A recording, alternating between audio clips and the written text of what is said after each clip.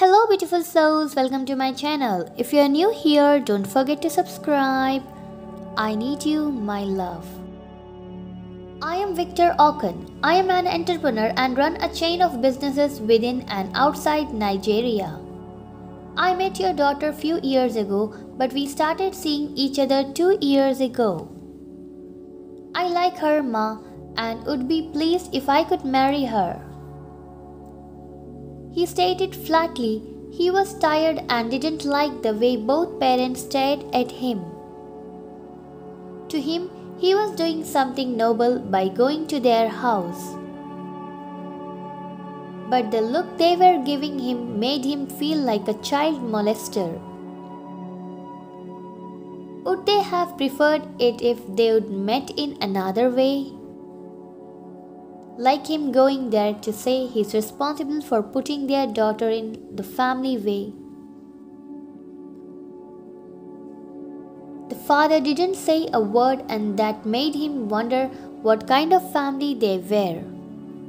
Then he gave it another thought and concluded perhaps it's the way of military personnel. When it comes to family, they are always cool headed but duty time. They are as hot as hell. Occasionally, when they let out their anger, they are unrestrained.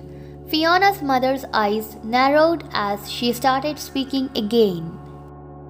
How old are you? She had hit the nail on the head.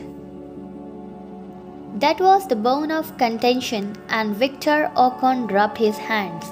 His hair, a mixture of grey and black, had somewhat given him out.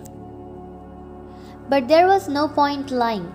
If he ended up marrying her, they would have to know sooner or later. He was a man of integrity and worth who didn't value recklessness. He was responsible. Fiona took over, taking the bull by the horn. He's 45, younger than you by three years. So what? She spat out, a look of disdain played on her face.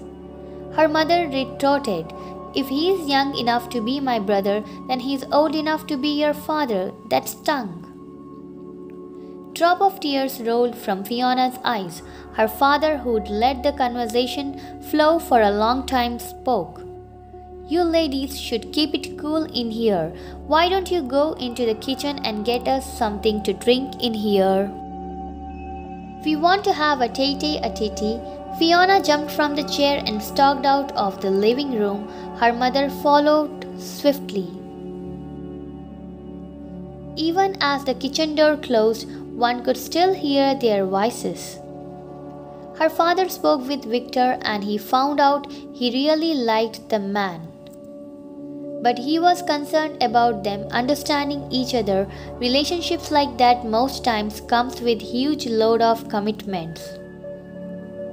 He was worried about her future and how long it might take for them to really connect. There were lots of people in the society with that kind of situation and they were doing fine. Some too, on the other hand, had failed at it. They spoke for a long time and Victor was able to wise out his mind. He felt it was a normal reaction for the mother considering the fact that they were about to give him their eye teeth. They heard a crash followed by a loud sound in the kitchen and stopped abruptly. Fiona stormed out holding her hand to one side of her face. She picked up her handbag and asked Victor to meet her at home. She left the house and Victor rendered his apologies. He shook the father's hands, nodded at the mother, and walked out calmly. He met Fiona outside crying. He pulled her into his arms and kissed her forehead. He drove in silence. She played with her fingers and finally let out a sigh. She was scared of losing him and said, I'll do whatever it takes. I will. He didn't say a word, he just nodded. He wondered in his mind, what's there loving someone older or younger? Isn't love the most important thing? Thanks for watching. Please do subscribe.